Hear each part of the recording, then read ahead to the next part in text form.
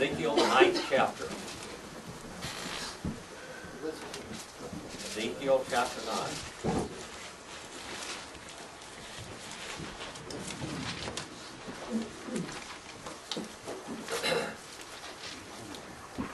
We've been studying about Shekinah. Shekinah. Brother Brett, where are you? Where- There you are. All right. Brother Brett, what does Shekinah mean? The presence of the Lord. The presence. All right. Uh, Shekinah, that's what it looks like in Hebrew. Shekinah, it's backwards, of course. Shekinah is a uh, rabbinical term. It is not really a Bible term, even though it is used in the Bible in different forms, but not the form Shekinah. Uh, I'm going to read to you what uh, this writer says about it.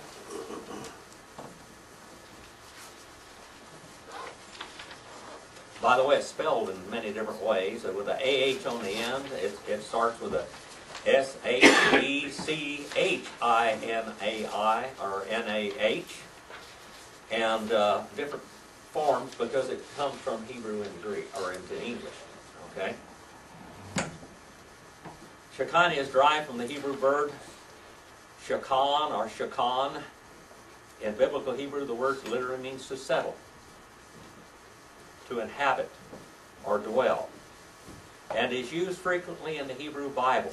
Genesis 9:27, 14:13, Psalm 37 verse 3, and Jeremiah 33 verse 16, as well as the weekly Shabbat blessing recited in the temple in Jerusalem. May he who causes his name to dwell, or shokan, in his house, cause to dwell among you, love and brotherliness, peace and friendship. The Mishneh Hebrew, the word is often used to refer to a bird's nesting and nests.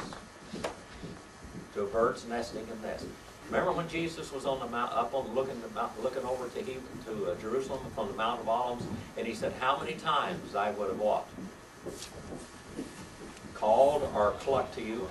When a mother hen, when her babies are in danger or she finds some good morsel, she'll go and they'll run. Just you just I mean, they instantly run. Many times I would have called you, but you would not come. All right. And then Genesis one and two.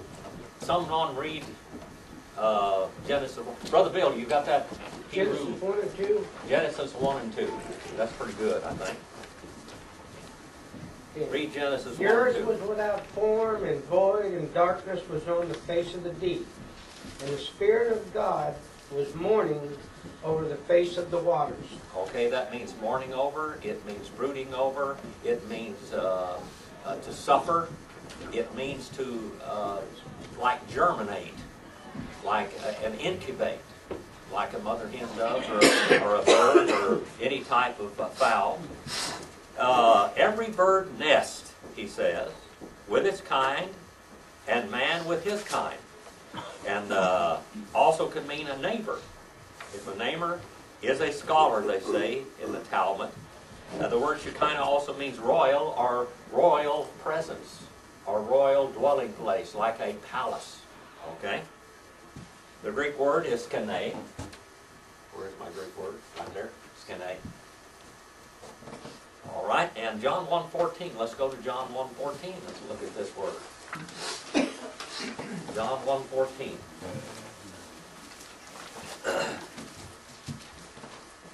John 1.14. Uh, Brother David, quote that for me in Greek, would you? Brother David, John 1.14. Oh, 114? Yeah. Uh, Kaiho Logos Arts Genito. Oh, thank you.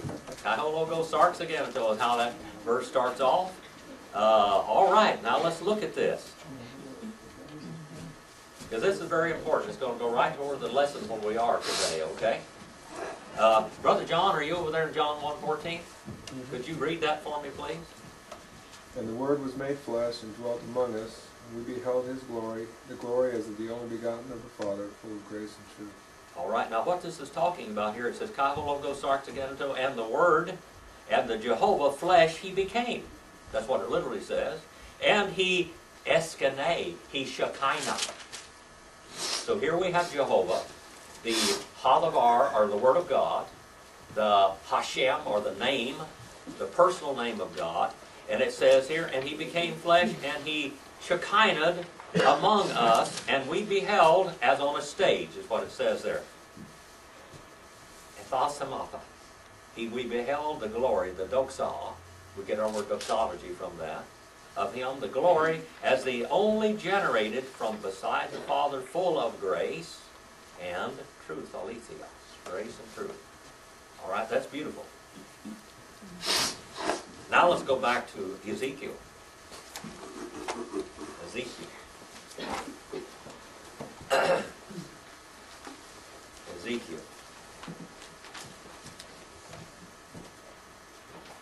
What chapter, Jim? Ezekiel 9 and verse number 3. Ezekiel 9 and verse number 3. Young lady, what is your name? I can't remember. Nita. Nita, Nita. Are you over there in Ezekiel? Yeah. All right, 9 and verse number 3.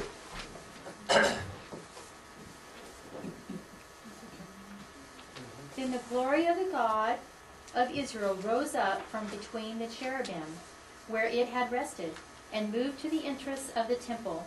And the Lord called to the man dressed in linen, who was carrying the writer's case. All right, now here we have the glory of the Lord. What is this then? How, how could we translate this? How could we interpret this? This is what? The Shekinah means the physical presence of God. All right? And in Hebrew, the Hebrew scholars say it is the feminine attributes of the presence of God, the nurturing attributes. And El Shaddai means what?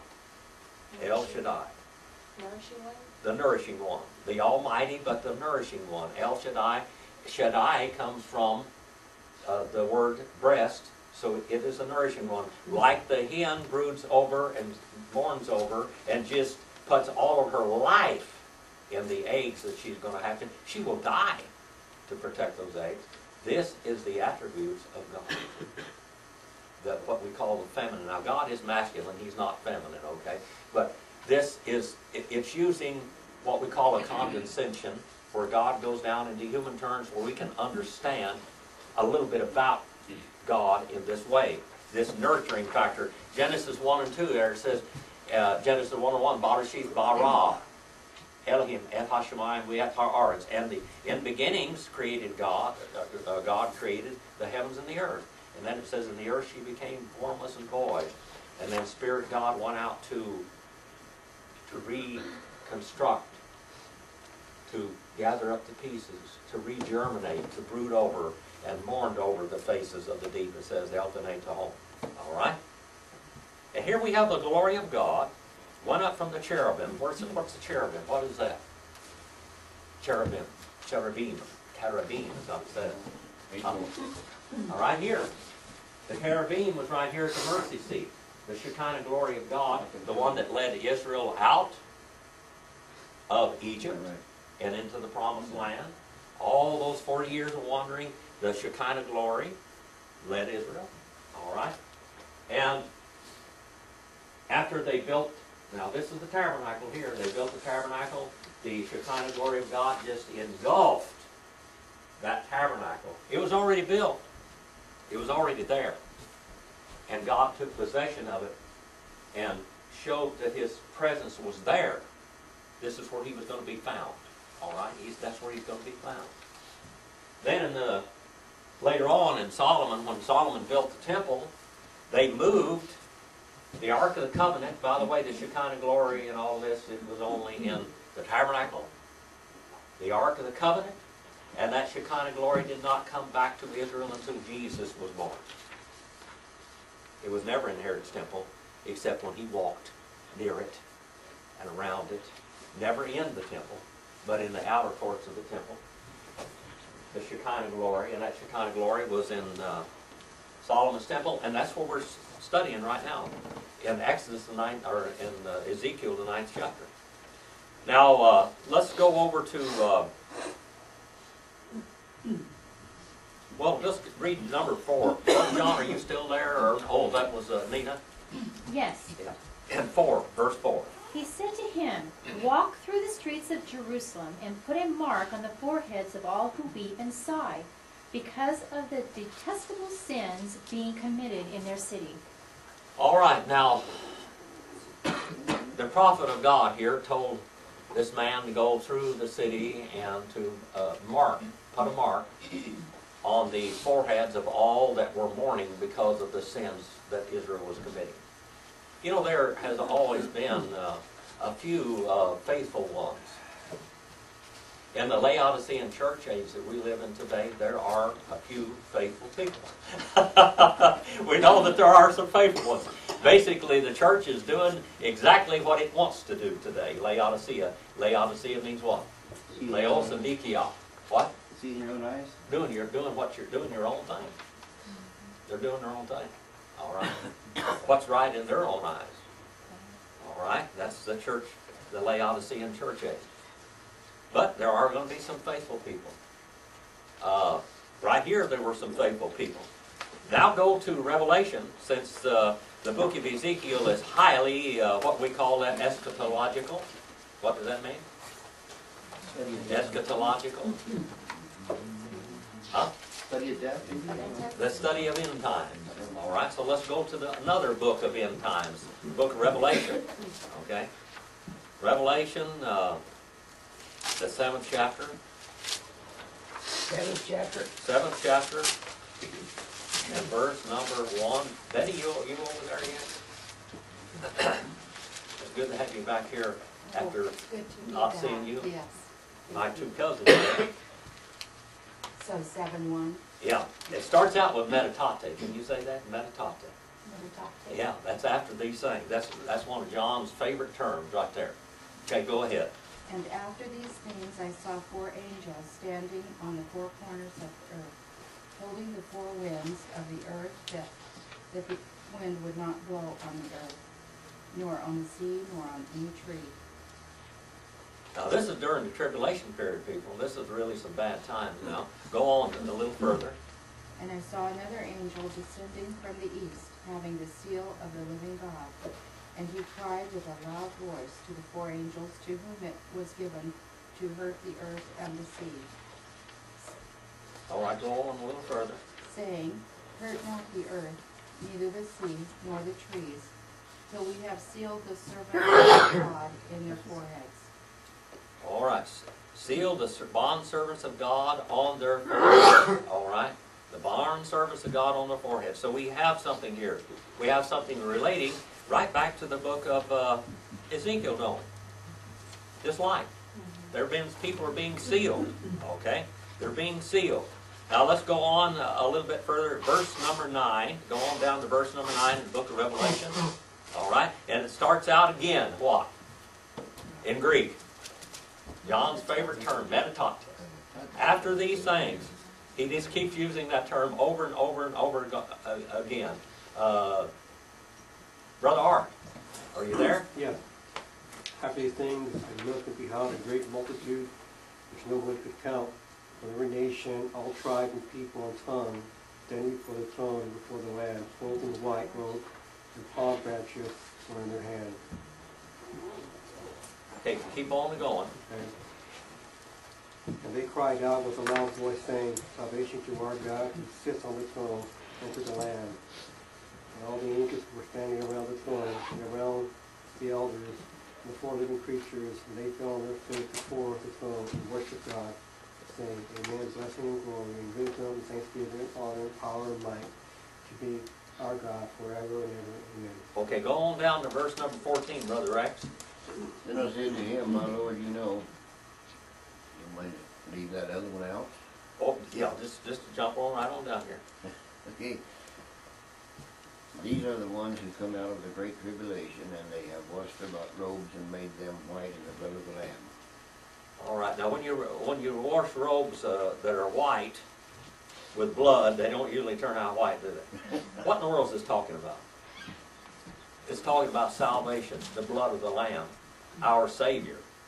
Verse number 13, and one of the elders answered and saying to me, These are the ones clothed in white robes, which are they, or which, uh, uh, from where did they come? And he said, I said to them, My Lord, uh, you know. And he said to me, These are the ones that came out of the great tribulation. They have washed their robes and made them white in the blood of the Lamb.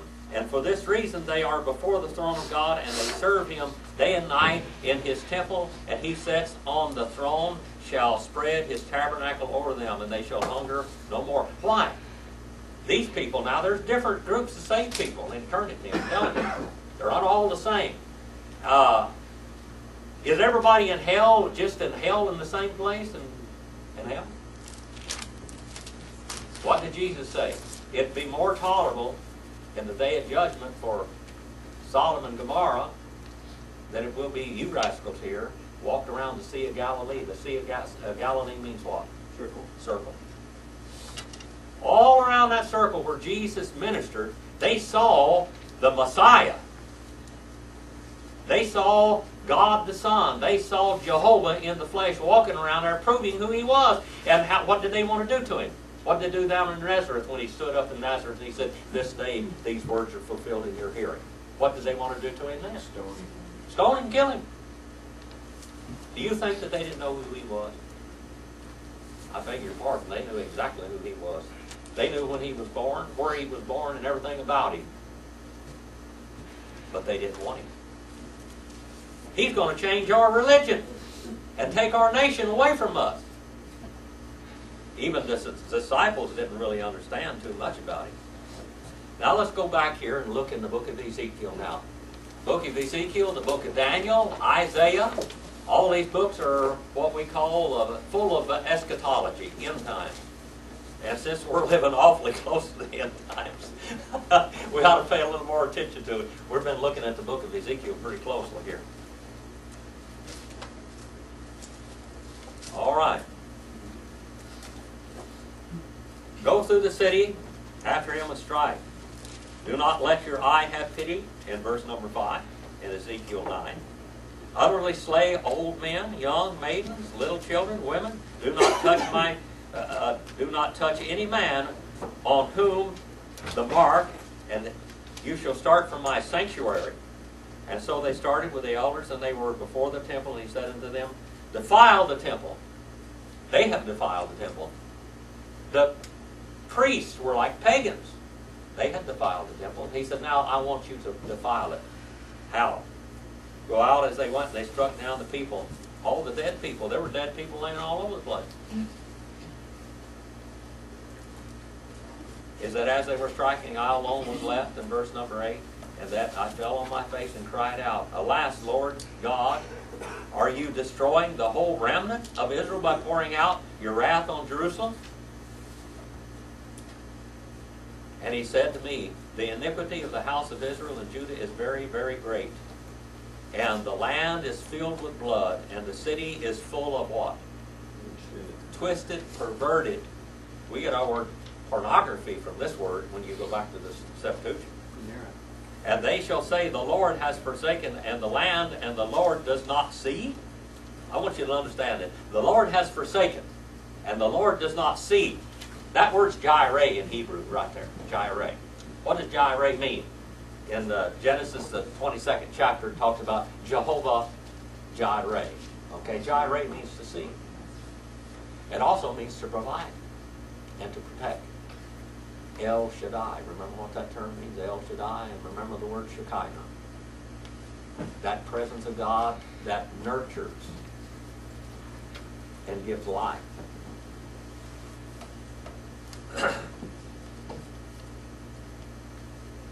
Lord does not see you. Jehovah Jireh. He doesn't provide. He didn't provide for them. They forsook him and he forsook them. But as for me and my eye will not have pity, and nor shall I spare, but I shall bring their conduct upon their heads. I'm going to return their conduct to their heads. They asked for it and they got it. You asked for it, let's see why you like it. Now, in the 10th chapter. In the 10th chapter. And verse number 1. Uh, Brother Bill, are you there? Yeah, Verse one. Yeah, 10 and 1. And it looked, and there in the firmament that was above the head of the cherubim, there appeared something like a sapphire stone, having the appearance of the likeness of a throne. Okay, now, what about Shekinah now? What does Shekinah mean? The physical presence of God, and what else? royal residence. You go back to the book of Revelation again, you see a royal residence where the rainbow, it's called the rainbow throne. Rainbow throne. By the way, the word rainbow is come from iris in Greek. It's like the iris of your eye, the color of your eye. The rainbow throne. And it, it the throne is sitting on a crystal sea, it says, the crystal sea. What it is, is a diamond. The pavement that the throne sits on is diamond. It's a diamond. One big polished diamond and the throne of God. Now what do diamonds do? What when you when you have a very good quality diamond that's very clear, what does it do? What does it do? Sparkles with different colors. It reflects beauty and light. It'll reflect beauty and light. So the rainbow throne, rainbow throne of God is reflecting God's Shekinah glory, the presence of Him. Okay, His presence. All right. Now here we have the throne of God. Now during this period of time, Israel was very, very privileged because the throne of God was above the cherubim in the temp in the temple. They had the presence of God there. He was dwelling with them. Did they appreciate it? They polluted that place. Why, even Solomon, if you, right here, in this picture here, we're, take, this picture is taken from the Mount of Olives. Have you been over there? It's a beautiful when you look back over to the city of Jerusalem. But you look over there and you see just paganism.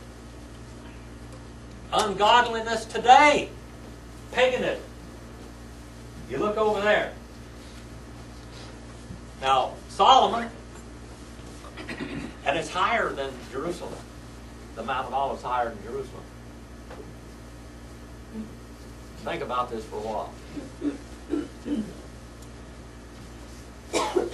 Looking down on the temple of God were pagan temples that Solomon built for his pagan wife. His pagan wife. Now here we have this resembling the throne of God. We see the glory of God. It's resting and dwelling over the Ark of the Covenant. And 1 John 2 and 2. Go to 1 John 2 and 2. These are very familiar verses with you. 1 John 2 and 2. Are you over there, uh, Anna? 1 John 2 and 2. Anyone at 1 John 2 and 2? 1 John 2 and 2. Dr. John, are you over there, 1 John 2 and 2? I just barely got you getting the door. I'm putting you to work, brother. 1 John 2 and 2. First John two and two. That's a beautiful verse. It talks about the uh, it talks about the mercy seat. I got it. That term right there. Well, I'm going to let Brother John do it. Brother John. We got two Johns in there now. And we're gonna do First John right now. Yes, sir. First John. Because you were here first. First John two and two. And he himself in the propitiation for our sins, and not our, and not for ours only, but also for the whole world. All right. This is talking about Jesus. It's talking about here we have the, the, the writer, John the writer, John the apostle. He wrote the Gospel of John. He wrote First, Second, and Third John in the book of Revelation. Okay, mm-hmm. and in all of these books, it calls Jesus the Logos or the Jehovah. This is the personal name of God. He's this is God in our presence now. Now, what does he say about this? Now, where did the Shekinah glory dwell? over the mercy seat.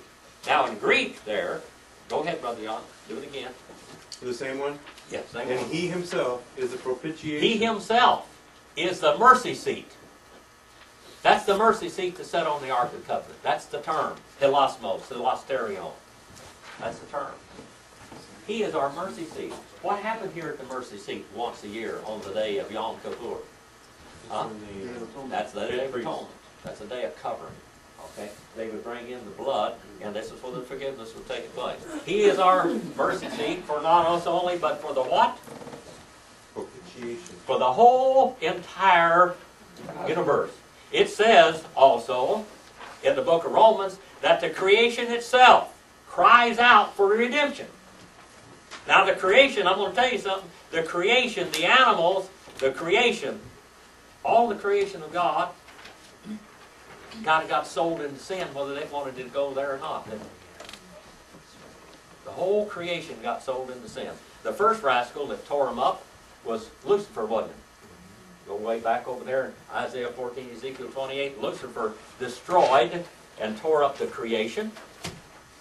And then God set it back in order again. And the Messiah came back to redeem it all. John 3.16 says, For God so what? Love the cosmos. The cosmos. The whole created order.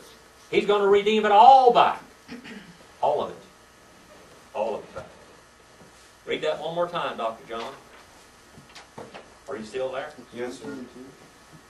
And he himself is a propitiation for our sins, and not for ours only, but also for the whole world. That's right. To redeem it all back to himself. He's doing a good job, people. When he came to the cross of Calvary and when he was raised from the grave, he did a real good job. He's going to finish it one of these days right back over yonder. All right? And finish the job completely up right there. All right? I looked and behold, 10 and verse 1, and behold in the expanse. That's the breathing space. The expanse over it, all right? And that was over their heads and the cherubim and something like a sapphire stone, appearing appearance resembling the throne, appearance above them. And he spoke to the man clothed in linen and said, Enter between the whirling wheels under the cherubim, the cherubim. By the way, it's always plural. Two, know, two and two. Always plural. First of two. Now, by the way, we have two cherubim right here, don't we?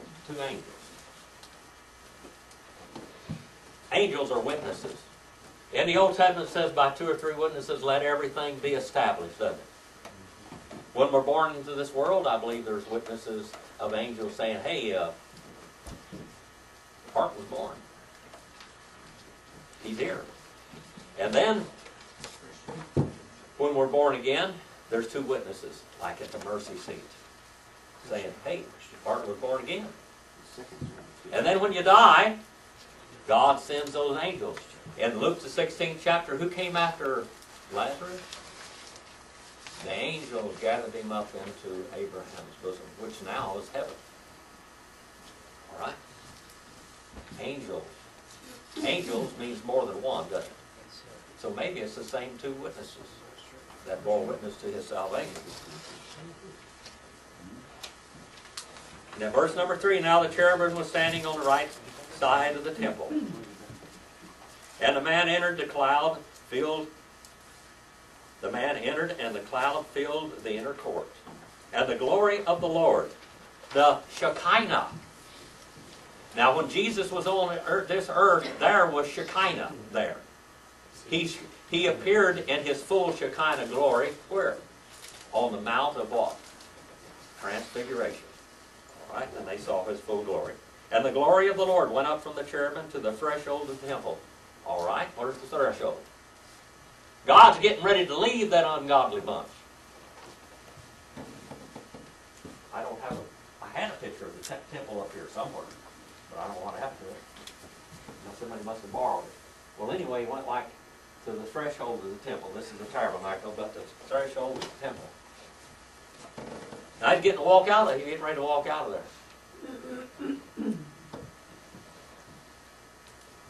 And the glory of the Lord went up from the cherubim to the threshold of the temple. And the temple was filled with a cloud, and the glory was filled, uh, and the court was filled with the brightness of the glory of the Lord. This is Shekinah.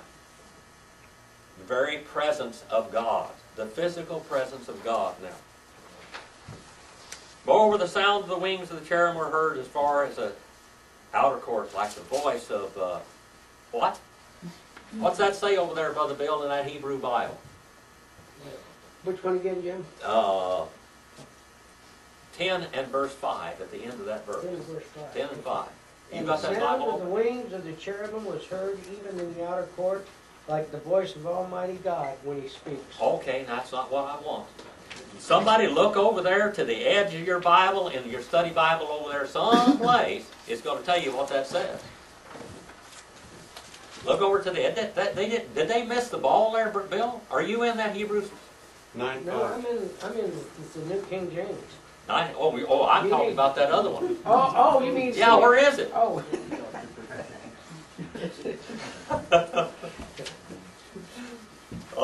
Look that one up. And as he's looking up, I'm going to tell you what it says in Hebrew. El Shaddai. El Shaddai. El Shaddai is the all-powerful, the all-nourishing one. All right? Did I tell you the truth, Bill? Read it.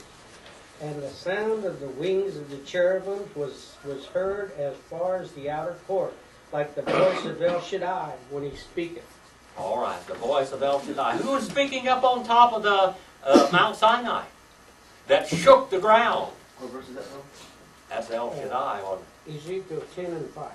All right, 10 and 6. And it came about when he had commanded the man clothed in linen, take fire from between the whirling wheels and between the cherubim, and he entered in and stood beside the wheel. Then the cherubim stretched out his hand, and the cherub stretched out his hand between the cherubim to the fire, which, now here we have a cherub.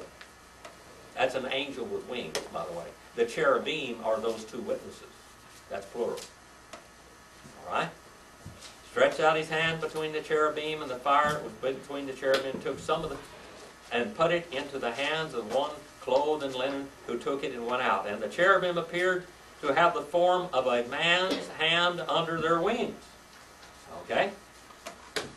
Then I looked, and behold, four wheels beside the cherubim, one wheel beside each cherub, and the appearance of the wheels were like the gleam of a uh, beryl stone. All right? Like a precious stone that you could see in, that reflects light, that's colors. And what about New Jerusalem? What is the foundation of New Jerusalem like? These different beautiful colored stones. And as far as the appearance of all four of them had the same likeness of one wheel, uh, wheels that were in another wheel. And they moved wherever they went, in any of their four directions without turning as they went, and they followed in the direction which they faced without turning as they went. What in the world is this? What is this thing? This is a representative of God's omnipresence. That omnipresence means what? That he's everywhere. How about omniscience? You know, there's three attributes of God. Knows everything. Yeah, he knows everything, and he's there every place, and this is what it's doing. It's showing you, this is what we call a theophany. It's displaying God, okay? And their whole body, and their backs, and their hands, and their wings, and their wheels were full of eyes all around, and the wheels belonging to all four of them, and the wheels uh, were called, in my hearing, the whirling of the wheels. What happened on top of Mount Sinai? Those Jews down below Sinai, he, he told them to come up there. The heads.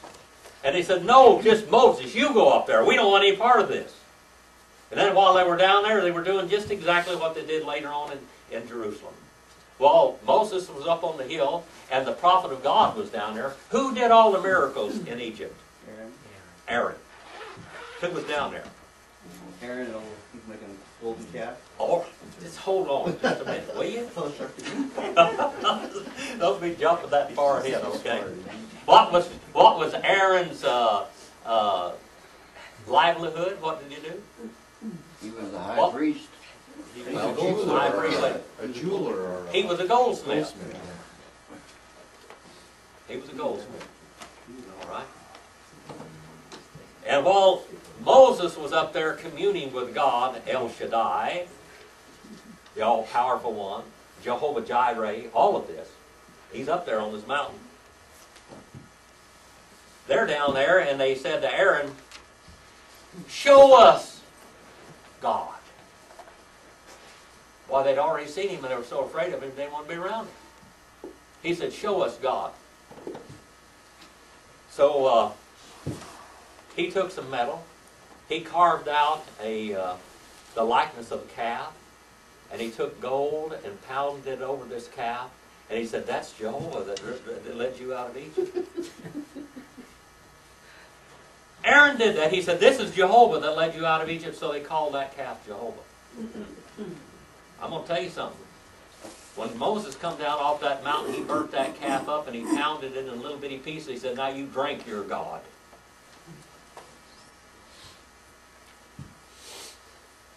That's ungodly. That's paganism. We are a people that believe in God. We don't have to have Him all the time with us right now, do we? We believe that He is. The book of the writer of the book of Hebrews says we must believe that He is.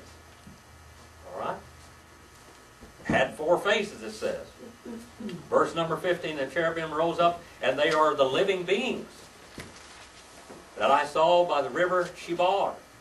Now, when the cherubim moved, the wheels would go beside them, and all the cherubim lifted up. What's going on here? He's talking about the Shekinah glory of God getting ready to exit.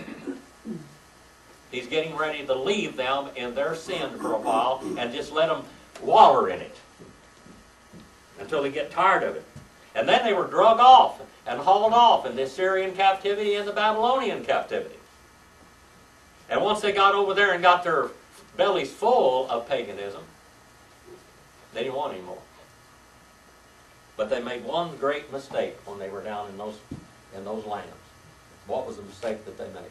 They're still they want a God that they can see and one that they can feel. Don't they?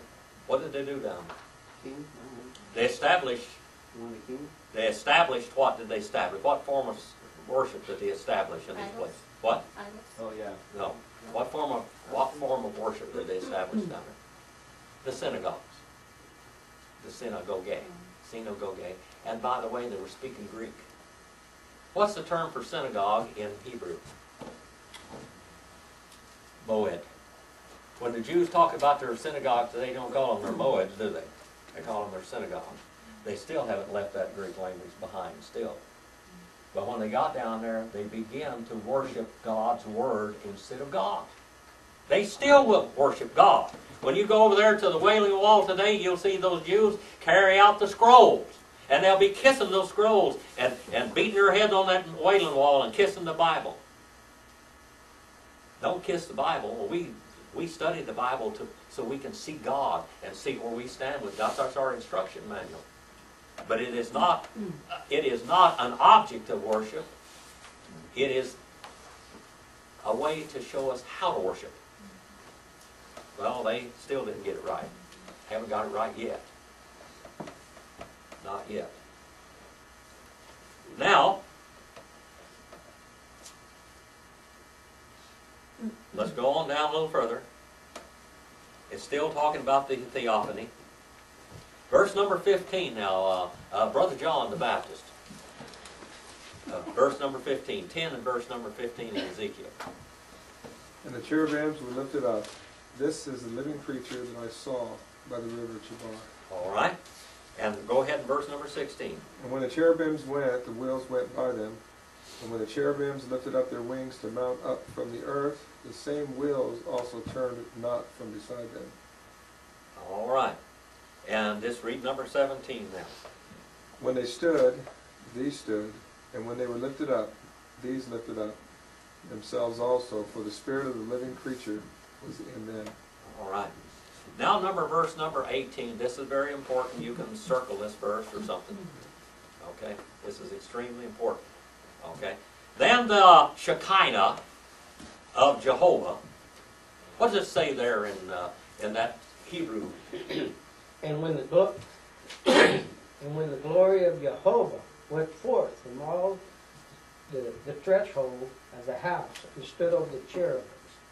Okay, now the, the, the glory, the Shekinah of Jehovah. Jehovah left that temple. He left the temple. Now, according to Second Maccabees, the second chapter, what happened to the Ark of the Covenant and the tabernacle and all the furniture? What's it say there? What happened to them according to Jewish history? Jeremiah the prophet being warned by God did what?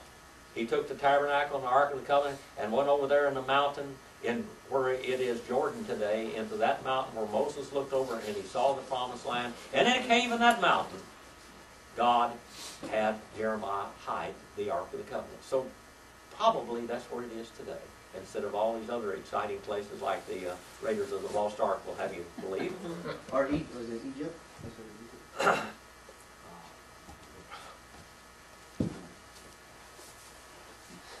Back's giving me trouble today. About knocked me down. when the cherubim, departed, they lifted their wings and rose up from the earth and the side of the wheels beside them. And they stood still at the entrance of the of the east gate of the Lord's house, and the glory of God of Israel hovered over them, the eastern gate. Where is that? Got my cane today too. You see that gate right there? You see the ark? You see the, the, the Mosque of Omar there? And right here is the eastern gate. That's it. That's where the Shekinah glory of God left. That's also called the sheep gate. The sheep gate is where they would take the sacrificial sheep and take them in, lead them in to be sacrificed. Jesus walked into that gate. Jesus walked out of that gate. Jim, Yes. F nineteen in this Bible has a very good translation of that if you'd like to hear it that one. Okay. Then the cherubims lifted, uplifted their wings and arose from the earth before mine eyes as they went forth, the wheels also in unison with them, and stood at the opening of the gate of the house of Jehovah that was towards the east, and the glory of Elohim of Israel All right. formed in shi- above. All right. The glory of the God of Israel, the Shekinah of the God of Israel, left the city, never to return. By the way, never to return. Left there. Now let's go on and see. Now I want you to draw some conclusions here also. Jesus went in and out of that city. Do you know that the, in, from the writings of Daniel, we know when the Messiah was going to be born. And those, uh, the Magi, we get our word magistrate from that, they were the rulers of the eastern part of uh, the world. And they were Magi that were left in Babylon. And they say that they had, when Daniel was there, that they had a school of Magi that mm-hmm. studied the writings of the Old Testament scrolls. And they knew the very year that the Messiah was going to be born. And when the calendar was right and the year was there, then what did they do? They went looking for him. And of course, it said that, that his star was in the sky. Not only his star was in the skies, but it was a time for him to be born. Also, they knew the exact day when Jesus would ride into Jerusalem on his triumphant entry. Also.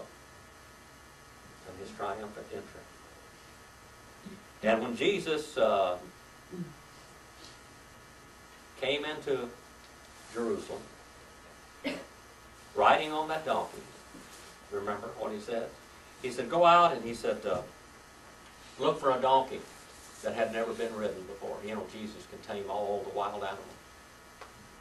When he was out there in the wilderness for 40 days, who was coming to him and who was he communicating with? The wild animals, the animals of the wilderness.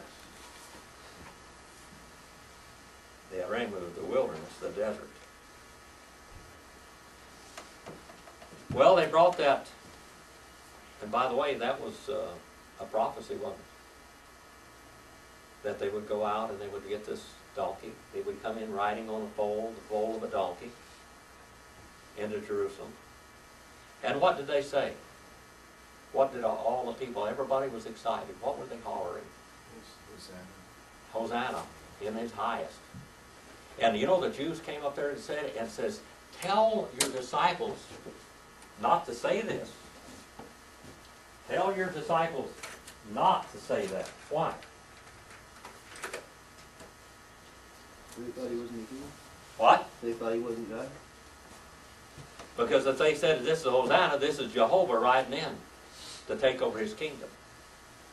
And he did come in there, that he rode in there on that donkey, and where did he go? The temple? into the temple area, not in the temple itself, but into the temple area, on the outer courts of the temple, where the money changers were, where they were selling the sacrifices. People would bring their sacrifices from afar, and they would get there, and the priest would uh, nullify that. Well, this has got a mark on it here, or something wrong with it. But we have one over here. We'll sell you at a good price today. But we won't take your money. We will. You'll have to exchange your money for temple money. And they would sit there at their benches. The bankers would. Now, the, some of you heard this a lot of times, but in the in the pagan temples were all banks. In the pagan temples, in the Roman and the Greek times, they had banks in every one of them. And the priest in there, one of the priests was, was set aside as the banker. And he would be ordained as the banker, and people would come and invest their money in that pagan temple, and they could get money, interest on it. They could make money on it. Now, if that priest became unfaithful and corrupt and debunked, what we call, what do you call that today when somebody goes and scams some, some company or everything? It's called what? Embezzling. What? Embezzling? Embezzlement. If he became an embezzler, they would take him and publicly whip him and break his bench in the presence of all. Now, what did Jesus do in there? He made a whip. He broke their benches and said, You are bankrupt. And he took over his kingdom. He took over his kingdom. The king took over the kingdom. All right. And then what did they do to the king? What did they do to the king? They crucified the king and they whipped him because they had power to do so. Pontius Pilate five times. Remember when I preached about Pontius Pilate over there? Pontius Pilate declared Jesus innocent five times, but the Jews kept on saying, crucify him, crucify. They demanded his crucifixion. And he said, what? Pontius Pilate washed his hands and said, I am guiltless of this man's innocent blood. And he said, let it be upon what? Us and our children. All right. This is quite a bit, quite a story in it. It is repeated over and over and over again. Jesus looked over to, to the Jerusalem. He said, You will not see me again until you, until you say what? Baruch Hashem. Blessed and holy is he that came in the name of the Lord. Blessed and holy is he that came in the name of the Lord. And in, and in the last day, in the last days, there's one that's going to stand up here in the, right over here. There's one that's going to stand up. And what is he going to say? I'm the Messiah. Come and follow me, and I'll give everything into your hands. I'll take care of you. I'm going to make the world a safe place. Remember we talked about here, here a while back, we talked about no God, no guns, and no gold. No silver and no food. No Dr. Pepper. Remember we talked about that here just a while back? The, pro, the, the, plan of the Antichrist? Today they, they say uh, invest in God and guns and gold. Well, when the Antichrist comes on the scene, you're not going to have any guns. Your gold and silver is going to be worthless. And even today, with your Social Security number, can you get a hunting license without a Social Security number? No. How about a fishing license? How about a job? How about a bank account? How about a checking account? How about going to the doctor? Going to the hospital? Have it. It's already there, isn't it? All of a sudden, somebody just snaps their fingers and we're done for. That's the way it is. No God, no guns, no gold. And they think that they're going to. Well, what's the Bible say? Invest in gold. It's a standard, isn't it? I'm going to tell you something in America. One time all the gold was called in and they set a price. The government set a price on what the gold was. Took it all away. Remember in 9-11 when President Bush shut down all the banks, you couldn't do anything at all. You couldn't draw any money out. You couldn't do anything. What's good your money in the bank when all this takes place? All it takes place. Well, let's go on and look a little bit further. Let's see the rest of the story. All right.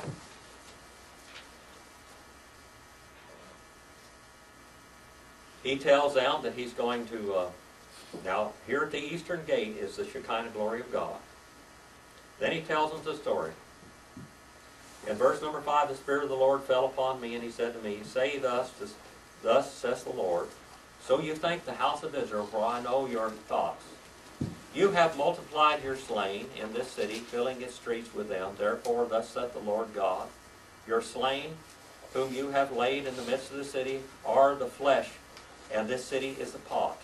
But I shall bring you out of it, and you have feared a sword, and I will bring a sword upon you, and the Lord God declares this.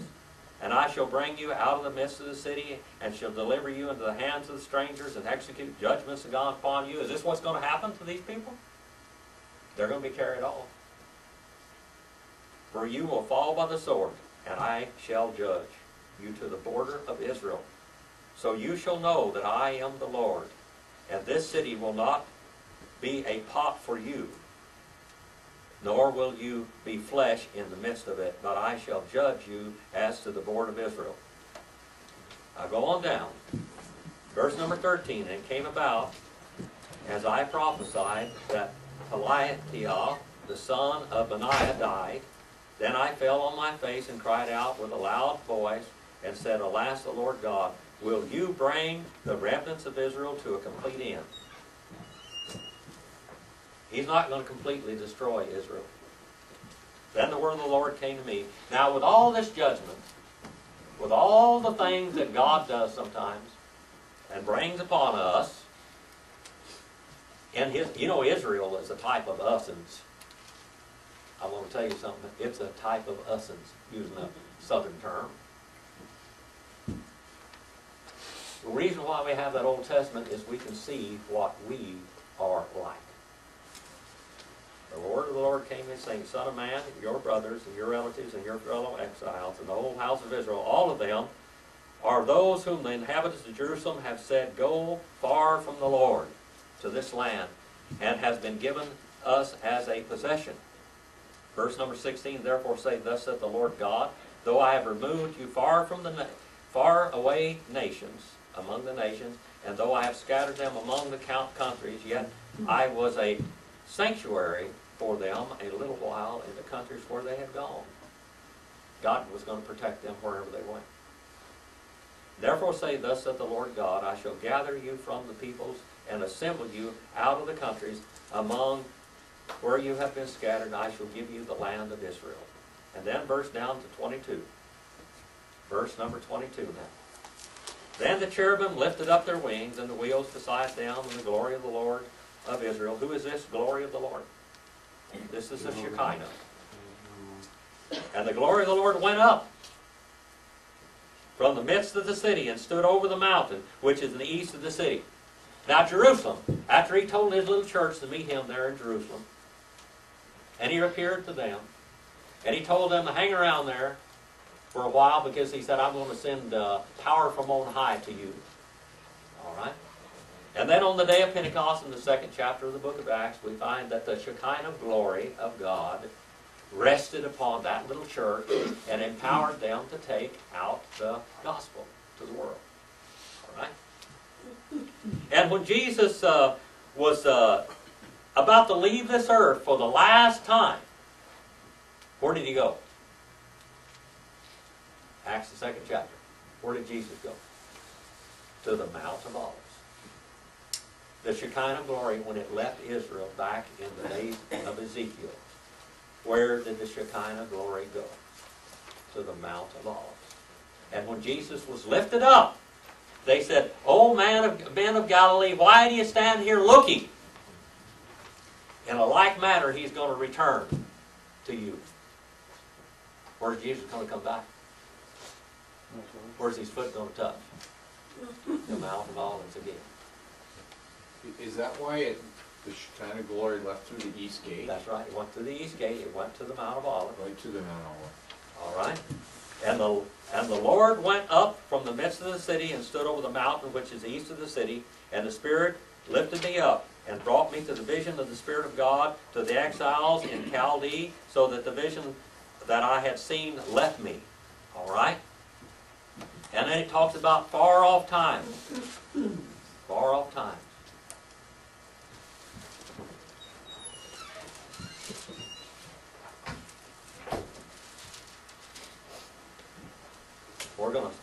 there next week.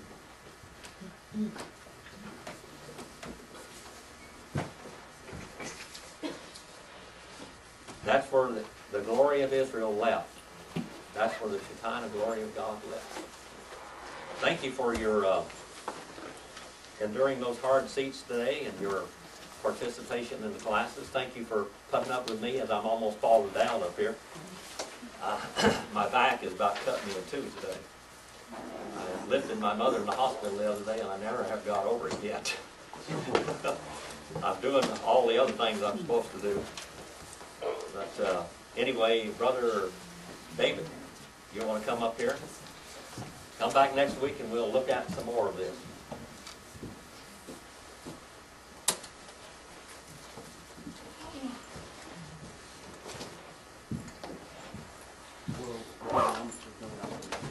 Okay, on our prayer list today, uh, Anna would like to give praise that her mom's tumor has shrunk, and it's half the size. And we'd also like to keep praying that it shrinks further. And also, uh, like